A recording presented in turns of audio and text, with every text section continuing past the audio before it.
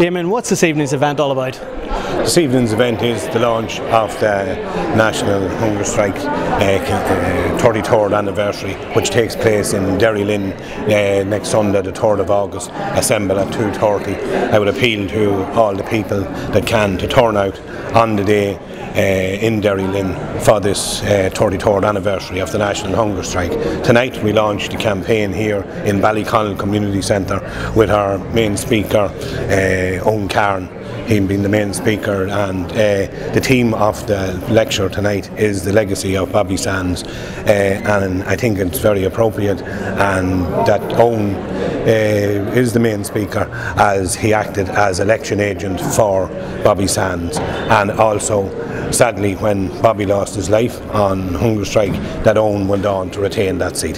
There's people here in this uh, hall tonight that uh, wasn't around and doesn't know the ins and outs of what took place during the hunger strikes. Uh, some of them weren't born, some of them are here to hear the stories, and a huge turning point in Irish history when 10 young men lost their lives in 1981 on hunger strike. Looking back now 33 years, it's still hard to probably to articulate all the emotions and the feelings and the pain and the memories of the hunger strike period. And the hunger strike for me uh, stands out as a major happening in my lifetime, and I believe it will be so in the history of modern Ireland. And even at this remove of over 30 years, it's still hard for those of us who were closely involved with the hunger strikers and their families to go back there in our memories, and I've found it hard always to speak on the subject because it was an, an intensely emotional and painful time for nationalists and Republican people. And on the surface, as many of you who are as old as me will remember, it was a time of, on the surface, of black flags and torchlight processions and campaigning meetings in little halls like uh, Killesher and Cunyon and uh, rosaries at street corners, and there was a great sense of crisis amongst our people, but also a great sense of solidarity. Uh, but it was much more. Something else, something more profound happened in 81 that changed forever the political landscape in the north of Ireland and had resonances uh, for the Irish struggle far beyond these shores and far beyond that time. It was a watershed period in our history, and things would never be the same again.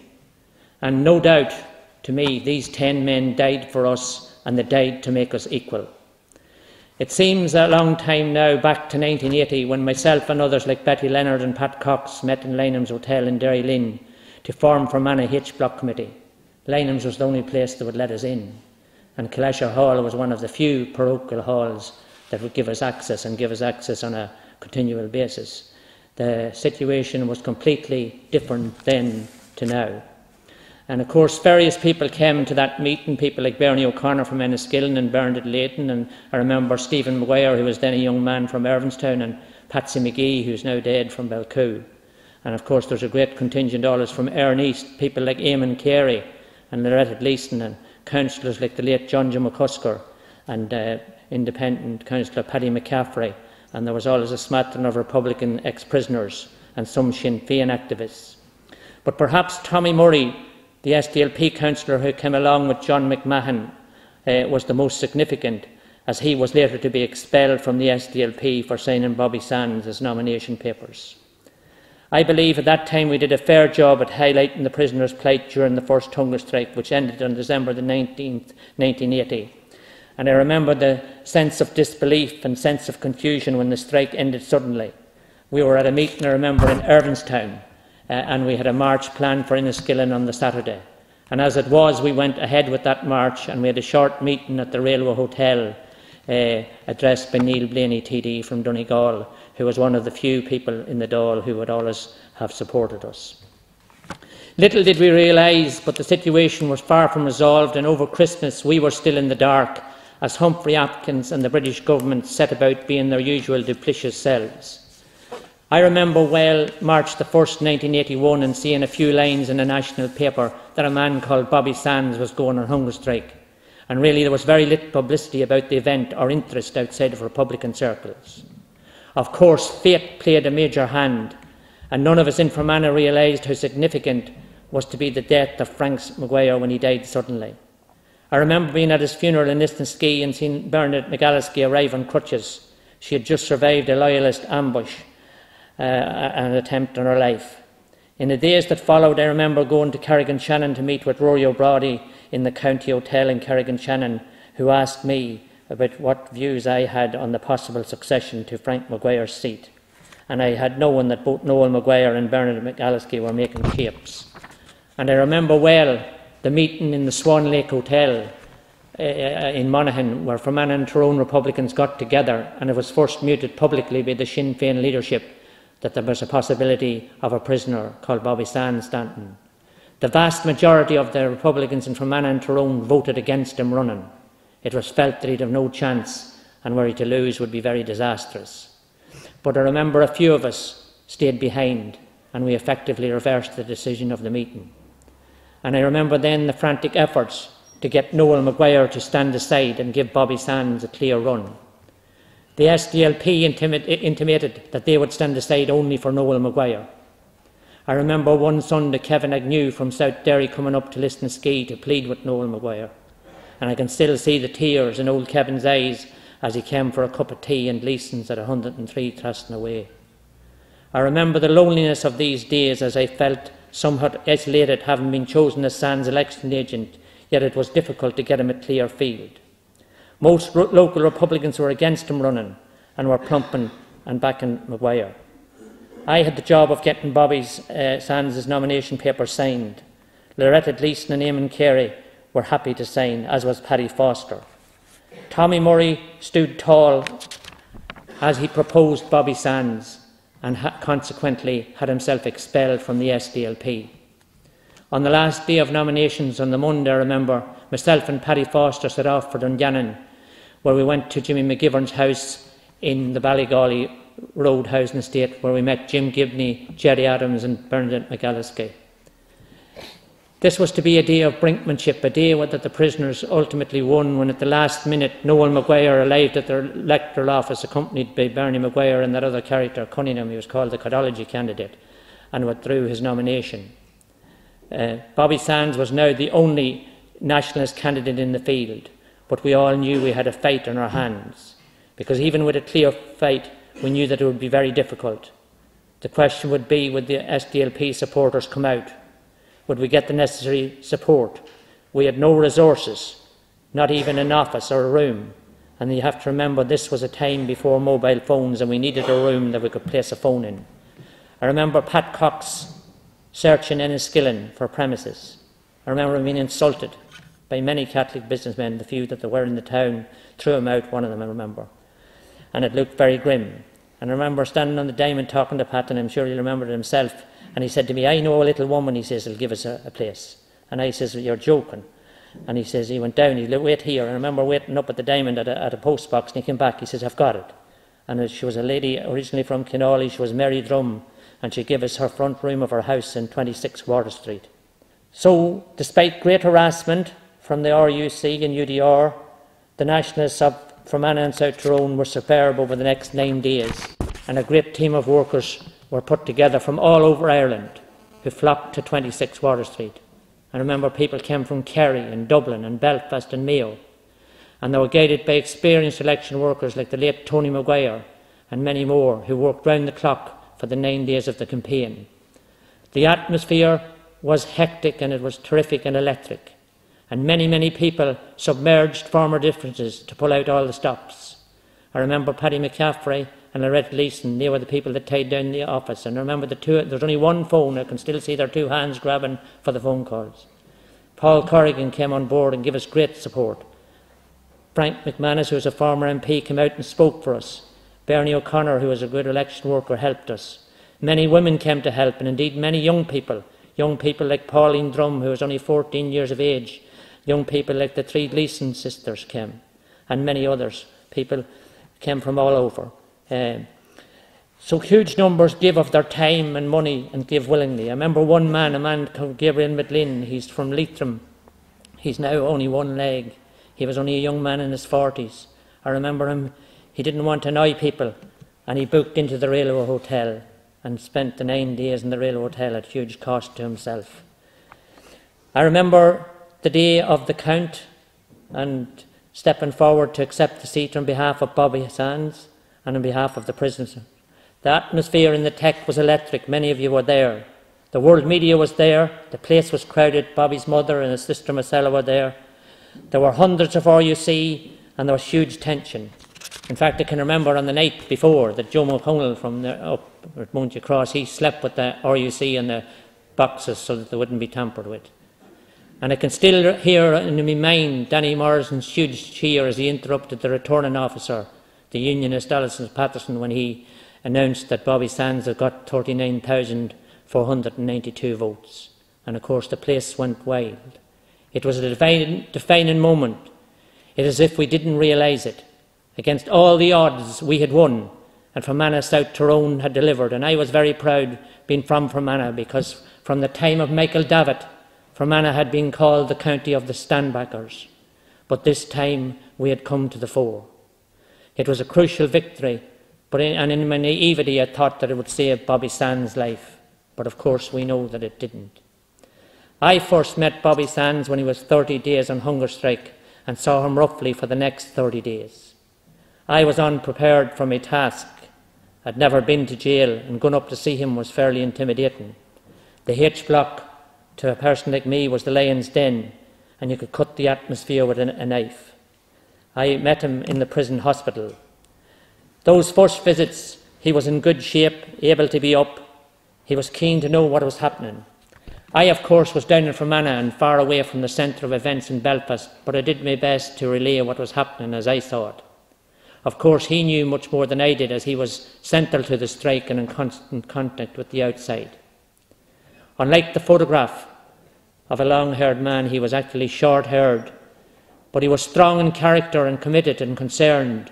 And despite his surroundings and where he was and who was around him, he was sincere and gentle.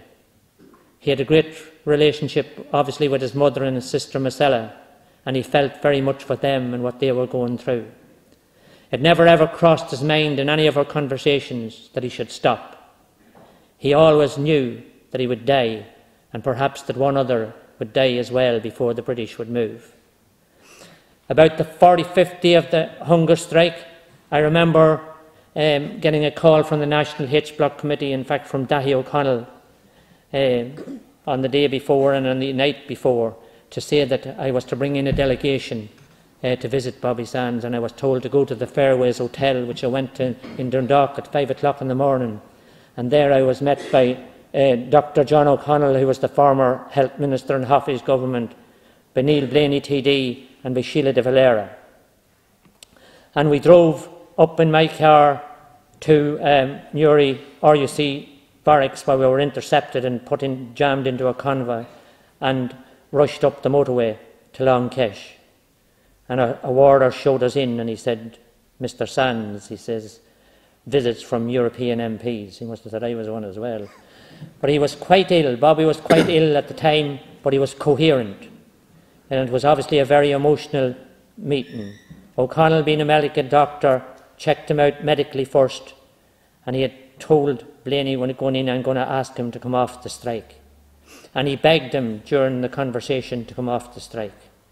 But of course, Bobby resisted. Síle de Valera was crying, and they were all struck by his courage, commitment, and what he and the prisoners were enduring, and what they had endured on the blanket protest. I remember well my last visit with him on the Saturday before he died. He was really weak, he was blind, he was totally gaunt and emaciated, lying on a sheepskin rug on a waterbed because his bones were sticking out, and he could barely speak. He asked me if there was any change in things, and I said not. And he replied, Well, he says, that's it then. Go and see my parents and look after my ma. Uh, I was shocked by the imminence of his death, but I went along with Jim Gibney. We went up to see his mother and father and sister, and it was a sad meeting. We all knew that time was getting short. I was at home in Mackin on the Monday night, the Tuesday morning of May the 5th, when a few minutes after one, Jim Gibney phoned me to say that Bobby Sands had died at 1.10. They had let him die and discarded all our votes. Jim Gibney asked me to go to Belfast, and I set out in the middle of the night. And when I arrived at Broadway, of course, the place was all rioted and uh, all destruction. But I got through anyhow, and I went to Tom Hartley's house And in the afternoon, Bobby was brought home to his parents' house in Twinbrook, where he was waked. Thousands filed by his coffin.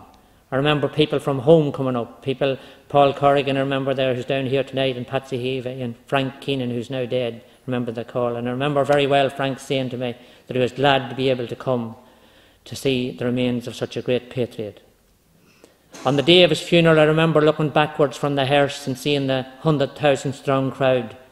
And myself and Gerry Adams said to each other how sound and how loyal the Irish people were at the back of it all, despite all the ways we had been divided. It was a great difficulty that I spoke at the funeral in Milltown, but I managed to get through it, and I hope I said some of the right things. Events were moving so fast, and there was no time till Francie Hughes died. I remember myself and Jimmy Drum being sent over uh, to with the family uh, as he was being removed from Beaver Park Hospital, and how the RUC attacked the undertakers, broke the hearse windows, and pulled myself and the undertaker from the vehicle, hoping that they could com- commandeer it. Uh, luckily, they weren't able to do so, they couldn't get it started. When we did get going, we were harassed by the RUC because we were boxed into a convoy, and loyalists stoned us all the way to Toome Bridge um, and over to Bellaghy. And we stopped at, outside the Hughes' lane. I remember Big John Davey, who was later killed by loyalists, stepping forward and placing the tricolour on Francis Hughes' coffin. And we, we brought him in to his uh, father and mother's bungalow. And the following days he was waked and he was, got his soldier's farewell in his native place. The other occasion I remember well was going into Long Kesh at around this time, the end of July uh, 1981, I was asked to go in along with Gerry Adams and Seamus Ruddy of the, S- of the IRSP. Father Faul had intervened with the families and was applying pressure on mothers and wives to take their loved ones off. He was arguing that it was the movement outside that was continuing the strike. I remember we went in and Gerry Adams asked me to be a witness to talk to them. We met the remaining strikers, along with Bik McFarlane, who was the OC. We met them in the dining room. Adams told them the accurate position as he saw it. The Brits weren't moving, and the likelihood was that they would not move at all, and that the probability was that if the strikers didn't come off, all of them would die. They must decide for themselves whether to go ahead or not. But he said that he, for his part, would happily go outside and face the media and explain that the prisoners wanted to end the strike. Tom McElwee was there, as was Mickey Devine, Paddy Quinn, Matt Devlin, uh, Liam McCloskey, and a few others. Kieran Doherty, the TD for Cavan here, was so ill in bed he couldn't come to the meeting. But he, we spoke to him in his cell and he could understand, and he said he wasn't coming off the strike. Kevin Lynch was beyond talking to his father and mother were with him. He was already dying and we couldn't speak with him. Tom McElwee and Mickey Devine spoke in unison that they would give Thatcher everything they'd got, meaning that they would go ahead. We shook hands with them and left. But of course, it was a time of tremendous crisis, a time of battle when the prisoners and the Republican people were standing shoulder to shoulder against Britain. In the first week of August, Kevin Lynch, Kieran Doherty, and Tom McElwee died. On the 20th of August, the same day as I was elected by the people in Fermanagh South Tyrone to succeed Bobby Sands because another prisoner couldn't stand, Mickey Devine died that day. Red Mick from Derry was the last hunger strike to die because increasingly families took their sons off and the strike lost momentum. After 217 days, of hope, of despair, of suffering, and exceptional courage, the prisoners called off their strike in early October. It was an extraordinary time. Never before had the Irish situation hit the world stage. Bobby Sands and the hunger strikers were known all over the world, and Britain were now in the dock of world public opinion. Thousands of people walked down the Champs Elysees in Paris in protest when Bobby Sands died. The Indian Parliament stood in silence. The longshoremen of New blocked the port of New York. In Tehran, the new government named the main thoroughfare Bobby Sands Street. The struggle was now seen clearly for what it was a political issue between Britain and Ireland. I, of course, remember well the suffering and the tragedy for the families and the heartbreak it was, and the suffering and pain for the prisoners. It should never happen again, and I don't believe it will. It was a campaign for its time. As Sands wrote, What is gained is gained for the Republic, what is lost is lost for the Republic. I think the losses have been great. Ten young men and a whole generation of people have been wiped out, people who would all be my age now. And in the overall 30 year struggle, we all know so many who have been lost. But of course, much has been gained. I think the hunger strike changed a lot. It certainly broke the British criminalisation strategy. It refuted Britain's role in Ireland and showed her as the aggressor and occupier. It politicised Republicans and nationalists and gave us some strength. The prisoners ultimately got their demands and won a huge moral victory. Nationalists and Republicans were matured and politicised. It gave birth to Sinn Féin as a radical party of growing strength and capacity. But in some ways, we are sad at the loss. I'm sad at the loss and the grief of what has happened, and we aren't able to save their lives. It's as if these ten men died for us, and they died to make us equal. And as we all know, not many would die for you and give their lives. I and the nationalist people are now more equal than before, more confident now in pushing onwards for the freedom and the Republic that is yet to be achieved. It's a time to remember, and the memories of these ten men must be cherished because somehow they have won a freedom for us we didn't have, and the price of that freedom has been so great. So today, Sinn Féin is the largest party, All Ireland party. We have the future in the palm of our hands, but it's like water, and we have to grip our hands and play our cards correctly. We mustn't fail through incompetence or arrogance. We can't take the people and our supporters for granted. We can't plough over people but try and take them along the road with us in brotherhood and sisterhood and comradeship. Sinn Féin must always remember what Bobby said. Let our revenge be the laughter of our children in a new republic. We must never become like other parties, but build on an Ireland party that can take power and enact a republic where people have rights.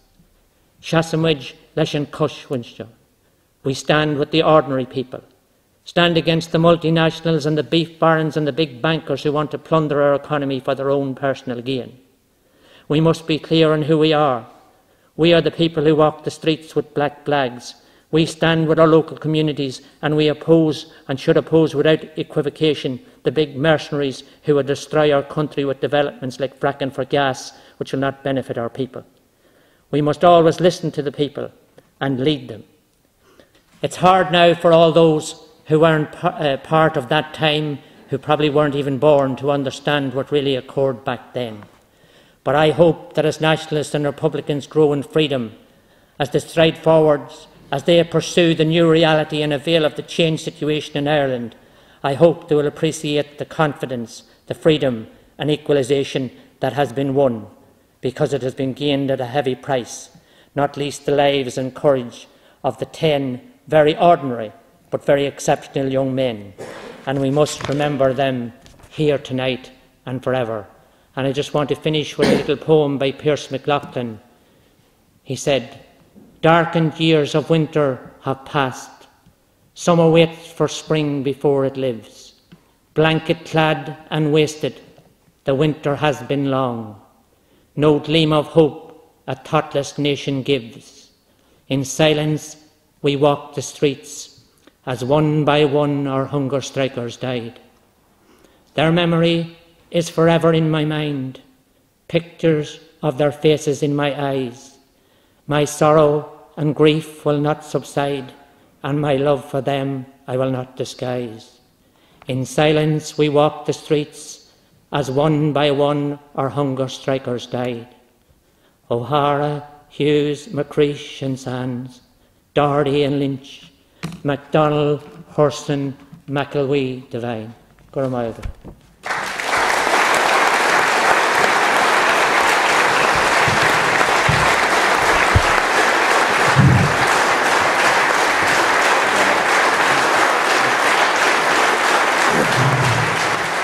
I think it's very, very important, particularly for the young people who came here tonight.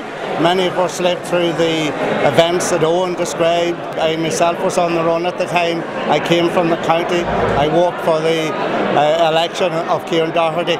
Extremely important that the young people that we never ever go back to those days. And only when Owen was describing them did it bring you back that you really did live through those times. And you look at the Gaza today, horrible, horrible. We lived through horrible times as well. And I think it's important that we mobilise people each year to remember the hunger strikers and including all of the people who died.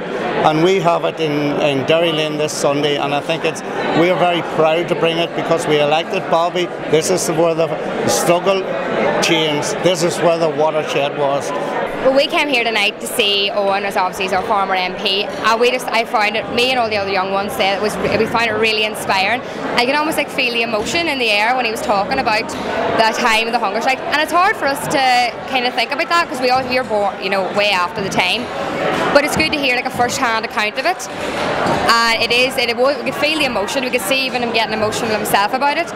I just think it's amazing the way they were through that era, and now they're from the political era. Now they're in the same same. I kind of feel like we are the future generation of the Republican movement and we should be even more out in our drives, out supporting this. And they were saying there there was people as young as 17, 18 in the jails being arrested and oh, well, that's not our time now but it's we have a different role and we should be fulfilling that fully, absolutely. And I'd encourage everyone to come out and help do their part.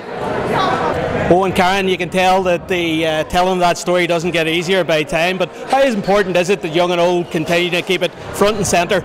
Well, uh, well, I think it's very important, I suppose, particularly that young people, uh, people who weren't alive at that time, because it's now 33 years, I think it's very important that they know and that they understand uh, the price that has been paid for the achievements that we have achieved so far. And of course, we're we've still uh, some distance to go to get into a republic that we would like to be in, you know, and uh, hopefully that. Um, uh, people will see that the hunger strike of 81 is probably uh, the most momentous event at the end of that century, as 1916 was at the beginning of it. You know.